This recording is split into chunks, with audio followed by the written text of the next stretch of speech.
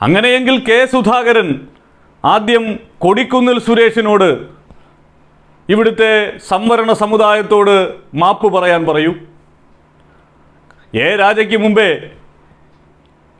വ്യാജ ജാതി സർട്ടിഫിക്കറ്റ് ഹാജരാക്കി എന്നുള്ളതിന്റെ പേരിൽ ഹൈക്കോടതി അയോഗ്യത കൽപ്പിച്ചത് ഇപ്പോൾ സുധാകരന്റെ തൊട്ടടുത്ത് കസേരയിലിരിക്കുന്ന കെ പി സി സിയുടെ വർക്കിംഗ് പ്രസിഡന്റായ കൊടിക്കുന്നിൽ സുരേഷാണ്.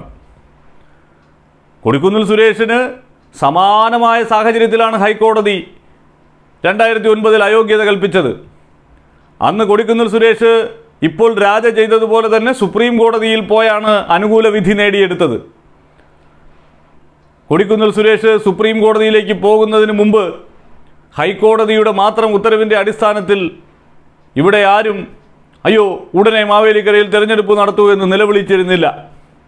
ഇപ്പോൾ കെ സുധാകരൻ രാജയുടെ രക്തത്തിനായി ദാഹിക്കുമ്പോൾ ദേവികുളത്ത് ഉപതെരഞ്ഞെടുപ്പിന് വേണ്ടി ഹൈക്കോടതി വിധിയുടെ മാത്രം അടിസ്ഥാനത്തിൽ ഇങ്ങനെ ആക്രാന്തം കാണിക്കുമ്പോൾ അത് സ്വാഭാവികമായി ചൂണ്ടിക്കാണിക്കപ്പെടും. അതിന് എ രാജയുടെയും രാഹുൽ ഗാന്ധിയുടെയും കാര്യങ്ങൾ വ്യത്യസ്തമാണ് എന്നുള്ള ന്യായം അടിച്ചിട്ട് കാര്യമില്ല. രാഹുൽ ഗാന്ധിക്കും അയോഗ്യത എ രാജയ്ക്കും അയോഗ്യത.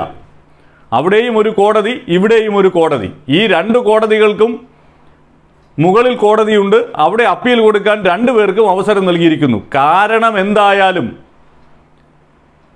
നിയമം ഏത് വഴിയിൽ കൂടിയാണ് പോകുന്നത് രണ്ടുപേരുടെയും കാര്യത്തിൽ സമാനതയാണ്. മേൽക്കോടതിയിൽ അപ്പീൽ നൽകാൻ പറഞ്ഞിരിക്കുകയാണ് രണ്ടിടത്തും.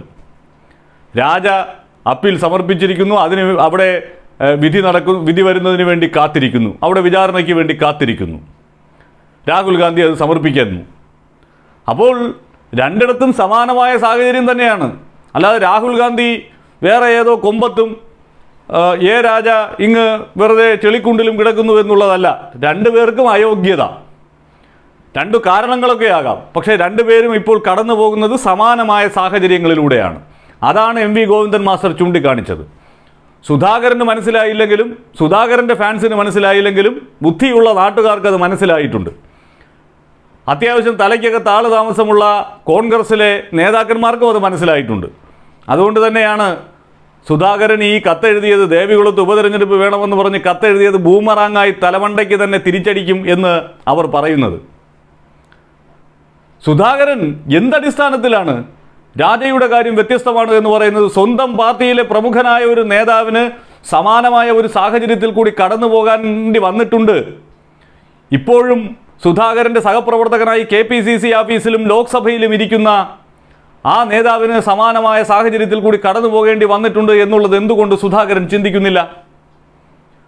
അന്നാരും ഹൈക്കോടതി വിധിയുടെ മാത്രം അടിസ്ഥാനത്തിൽ കൊടിക്കുന്ന് സുരേഷിനെ വിചാരണ ചെയ്യാൻ ജനസമൂഹത്തിൽ അദ്ദേഹത്തെ ചോദ്യം ചെയ്യാൻ തയ്യാറായിരുന്നില്ല. അപ്പീലൊക്കെ കൊടുത്ത് അന്തിമ വിധി വന്നതിന് ശേഷം മാത്രം അക്കാര്യത്തിൽ പ്രതികരണങ്ങൾ എന്നുള്ള മനോഭാവമായിരുന്നു അന്നുണ്ടായിരുന്നത്. അല്ലാതെ അന്ന് എൽ ഡി എഫ് ഈ ഹൈക്കോടതി വിധി വന്ന ഉടനെ ഹൈക്കോടതി അപ്പീൽ നൽകാനുള്ള അവസരമൊക്കെ നൽകിയ സാഹചര്യത്തിൽ കൊടുക്കുന്ന സുരേഷിനെ അതൊന്നും പോരാ. ഹൈക്കോടതി പറഞ്ഞാൽ അന്തിമമാണ് എന്നുള്ള നിലയിൽ വിചാരണ ചെയ്യാൻ തയ്യാറായില്ല. മാവേലിക്കരയിൽ തെരഞ്ഞെടുപ്പ് ആവശ്യപ്പെടാൻ തയ്യാറായില്ല. രാഷ്ട്രീയമായ ചില പ്രസ്താവനകൾ നടത്തി എന്നുള്ളതിനപ്പുറത്ത് ഇതുപോലെ ആക്രാന്തപ്പെട്ട് തെരഞ്ഞെടുപ്പ് കമ്മീഷന് കത്തെഴുതിയില്ല. രാഹുൽ ഗാന്ധി മോദി സമുദായത്തെ അപമാനിച്ചു എന്നുള്ളതാണ് കുറ്റം. ഇവിടെ മറ്റൊരു കുറ്റം. അത് ജാതി സർട്ടിഫിക്കറ്റ് ഹാജരാക്കിയത് അദ്ദേഹം ആ, സംവരണ ജാതിയിൽപ്പെട്ടയാളല്ല എന്നുള്ളത്. അങ്ങനെയാണ് എന്നുള്ളത് കൊണ്ടാണ് നിയമവശങ്ങൾ പരിശോധിച്ച് അദ്ദേഹത്തെ ഒരു സംവരണ മണ്ഡലത്തിൽ സ്ഥാനാർത്ഥിയാക്കിയതെന്ന് അദ്ദേഹത്തിന്റെ പാർട്ടിക്ക് ഉറപ്പുള്ളിടത്തോളം കാലം സുധാകരൻ ഇവിടെ ഇരുന്ന് എത്ര കത്തെഴുതിയാലും എത്ര രോദനം നടത്തിയാലും അതിൽ കാര്യമില്ലല്ലോ. അത് അന്തിമ നിയമ പോരാട്ടത്തിലൂടെ വ്യക്തമാക്കപ്പെടേണ്ടതാണ്. രാഹുൽ ഗാന്ധിയും അദ്ദേഹം പറഞ്ഞത് മോദി സമുദായത്തെ ഉദ്ദേശിച്ചല്ല എന്ന് ഇനി തെളിയിക്കണം മേൽക്കോടതിയിൽ. പ്രതികാര നടപടി എന്നൊക്കെ നമുക്ക് പറയാം. പക്ഷേ രണ്ടുപേരും നീതിന്യായ വ്യവസ്ഥയുടെ ഭാഗമായി സമാനമായ സാഹചര്യത്തിലൂടെ കടന്നു പോകുമ്പോൾ സുധാകരൻ ഒരാൾക്ക് വേണ്ടി മാത്രം കത്തെഴുതുന്നതിലെ അനൗചിത്യമാണ് എം വി ഗോവിന്ദൻ മാഷം ചൂണ്ടിക്കാണിച്ചത്. കാരണം ഈ കേസ് ഈ പത്ത് ദിവസത്തിനകം അപ്പീൽ നൽകണം എന്ന് ഹൈക്കോടതി രാജയോട് പറഞ്ഞത് പത്ത് ദിവസത്തിനകം വിധിയും വാങ്ങി വരണമെന്നുള്ളതല്ല. സുധാകരൻ അങ്ങനെ ഒരു തെറ്റിദ്ധാരണയുടെ അടിസ്ഥാനത്തിൽ കൂടിയാണ് ഈ കത്തെഴുതി വച്ചിരിക്കുന്നത്. രാഹുൽ ഗാന്ധിയോട് മുപ്പത് ദിവസത്തിനകം അപ്പീൽ കൊടുക്കണമെന്ന് പറയുന്നത് മുപ്പത് ദിവസത്തിനകം നിങ്ങൾ വിധിയുമായി വരണമെന്നുള്ളതല്ല. ആ കേസ് മേൽക്കോടതിക്ക് എപ്പോഴാണോ പരിശോധിക്കാൻ അവസരം കിട്ടുന്നത് അപ്പോഴാണ് അവർ പരിശോധിക്കുന്നത്. അല്ലാതെ നമ്മൾ ഓടിച്ചെന്നാൽ ഉടനെ എന്നാൽ പിന്നെ ഈ കേസിന്റെ നമുക്ക് പരിഗണിച്ച് കളയാം എന്നുള്ള മനോഭാവമല്ല കാട്ടുന്നത്. ചിലപ്പോൾ അടിയന്തര പ്രാധാന്യമുള്ള ഒന്നാണെങ്കിൽ അത് ചെയ്യും. ചിലപ്പോൾ അത് അങ്ങനെ ചെയ്യണമെന്നില്ല നീട്ടിക്കൊണ്ടുപോകാം. ഇപ്പോൾ രാജ ഈ അപ്പീൽ സമർപ്പിച്ചിട്ട് മൂന്നാൽ ദിവസമായി. കോടതി അത് ലിസ്റ്റ് ചെയ്ത് ഇനി വാദം കേട്ട് ഒരു അടിയന്തരമായി ചിലപ്പോൾ ഹൈക്കോടതിയുടെ ഉത്തരവിനൊരു സ്റ്റേ നൽകി തുടർ നടപടികളിലേക്ക് കടക്കും. അങ്ങനെയൊക്കെ നിയമപരമായി അതിനെ നേരിടാനുള്ള അവസരമുള്ളപ്പോഴാണ് സുധാകരൻ ഏകപക്ഷീയമായി അങ്ങ് തീരുമാനിക്കുന്നത് ദേവികുളത്ത് തെരഞ്ഞെടുപ്പ് നടത്തൂ തെരഞ്ഞെടുപ്പ് നടത്തൂ എന്ന്. അങ്ങനെയെങ്കിൽ ഇവിടെ ലോക്സഭാ സെക്രട്ടേറിയറ്റ് വരെ അയോഗ്യനാക്കിയിരിക്കുന്നയാളാണ് രാഹുൽ ഗാന്ധി. പ്രതികാര നടപടിയുടെ ഭാഗമായിട്ടാണെങ്കിലും അവിടെയല്ലേ എന്നാൽ പിന്നെ ആദ്യം തെരഞ്ഞെടുപ്പ് നടക്കേണ്ടത്? അതിനു വേണ്ടിയിട്ടല്ലേ എന്നാൽ പിന്നെ സുധാകരൻ എഴുതേണ്ടത്? അപ്പോൾ നമ്മുടെ നീതിന്യായ വ്യവസ്ഥയിൽ മേൽക്കോടതികളുണ്ടെന്നും ആ മേൽക്കോടതികളുടെ പരിഗണനയ്ക്ക് ഈ വിഷയങ്ങളൊക്കെ പോകേണ്ടതാണ് എന്നുമുള്ള ഉത്തമ ബോധ്യമുള്ള ഒരാൾ തന്നെ. ഇമാതിരി ഊളപ്പണിക്ക് ഇറങ്ങുമ്പോൾ സ്വാഭാവികമായി അതിനെ വിമർശിക്കും രാഷ്ട്രീയമായി തന്നെ അതിനെതിരെ രംഗത്ത് വരും. അത് ഗോവിന്ദൻ മാഷിന് ബോധ്യമില്ലാത്തത് കൊണ്ടാണ് എന്നൊക്കെ സുധാകരൻ പറയുന്നത് സുധാകരന്റെ ബോധ്യമില്ലായ്മ. സുധാകരൻ ആദ്യം ഈ രാജയുടെ കാര്യത്തിൽ പറയുന്ന ന്യായങ്ങൾക്ക് ഉത്തരം പറയേണ്ടത് കൊടിക്കുന്നിൽ സുരേഷിനോടാണ്. മുൻകാല പ്രാബല്യത്തോടെ കൊടിക്കുന്നിൽ സുരേഷിനെ കൊണ്ടെന്നാൽ സംവരണ സമുദായത്തോട് മാപ്പ് പറയിപ്പിക്കൂ. എന്നിട്ട് രാജയോട് മാപ്പപേക്ഷിക്കാൻ പറയൂ. അതാണല്ലോ ഒരു മര്യാദ. ഹൈക്കോടതി വിധി പറയുന്നതാണ് അന്തിമം എന്നുണ്ടെങ്കിൽ. കൊടിക്കുന്നിൽ സുരേഷിനോട് അങ്ങനെയാണല്ലോ പറഞ്ഞത്. അയോഗ്യതയായിരുന്നു. അദ്ദേഹത്തിന്റെ അംഗത്വം റദ്ദാക്കി ഹൈക്കോടതി.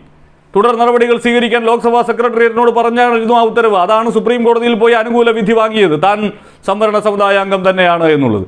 രാജയും നേരിടുന്നത് സമാനമായ പ്രശ്നമാണ്. അദ്ദേഹത്തിനും സുപ്രീം കോടതിയിൽ പോയി അത്തരത്തിൽ നീതി തേടുന്നതിനുള്ള അവസരമുണ്ട്. അതിനു വേണ്ടിയിട്ടുള്ള ശ്രമങ്ങൾ അദ്ദേഹം ആരംഭിച്ചിരിക്കുന്നു. അങ്ങനെ ഒരു ഘട്ടത്തിൽ ദേവികുളത്ത് ഉപതെരഞ്ഞെടുപ്പ് വേണമെന്ന് സുധാകരൻ പറയുമ്പോൾ അതിനെ രാഷ്ട്രീയമായി ചോദ്യം ചെയ്യണ്ടേ? ആ രാഷ്ട്രീയമായ ചോദ്യം ചെയ്യൽ മാത്രമേ എം വി ഗോവിന്ദൻ മാഷ് മാന്യമായ ഭാഷയിൽ നടത്തിയിട്ടുള്ളൂ. എന്നാൽ പിന്നെ നിങ്ങൾ എന്തുകൊണ്ട് രാഹുൽ ഗാന്ധിക്ക് വേണ്ടി എഴുതിയിട്ടില്ല? രാഹുൽ ഗാന്ധിയെയും രാജയെയും ഒരേ തുലനം ചെയ്യാൻ പറ്റുമോ എന്നൊക്കെയാണ്. രാഹുൽ ഗാന്ധി കോൺഗ്രസിന്റെ ദേശീയ നേതാവ് തന്നെ ഒരു സംശയവുമില്ല. പക്ഷേ ഇപ്പോൾ രണ്ടുപേരും കടന്നു പോകുന്ന സാഹചര്യം ആ സാഹചര്യം രണ്ട് ജനപ്രതിനിധികൾ രണ്ടിടങ്ങളിലായി രണ്ട് തരത്തിലുള്ള നിയമപ്രശ്നത്തിൽ പെട്ടു നിൽക്കുന്നു. രണ്ടു പേർക്കും മേൽക്കോടതിയിൽ പോകാൻ അവസരം നൽകിയിരിക്കുന്നു. അതിൽ ഒരാളുടെ കാര്യത്തിൽ മാത്രം സുധാകരൻ എന്തിന് ആക്രാന്തം? അവിടെയാണല്ലോ പ്രശ്നം. രണ്ടും കേരളത്തിലാണ്. അപ്പോൾ രണ്ടുപേരുടെയും കാര്യത്തിൽ ഒരേ മനോഭാവമല്ലേ കാട്ടേണ്ടത്? ഇതുകൊണ്ടൊക്കെയാണ് പറയുന്നത്. ഈ സുധാകരൻ കോൺഗ്രസിനെ ഇങ്ങനെ ഇങ്ങനെ ഇങ്ങനെ വേണ്ടാത്ത പണികൾ ഏകപക്ഷീയമായി എടുക്കുന്ന പണികളിലൂടെ ഏകാധിപത്യത്തിലൂടെ ഇല്ലാതാക്കി കളയുമെന്നുള്ള കാര്യത്തിൽ ഒരു സംശയവും വേണ്ട.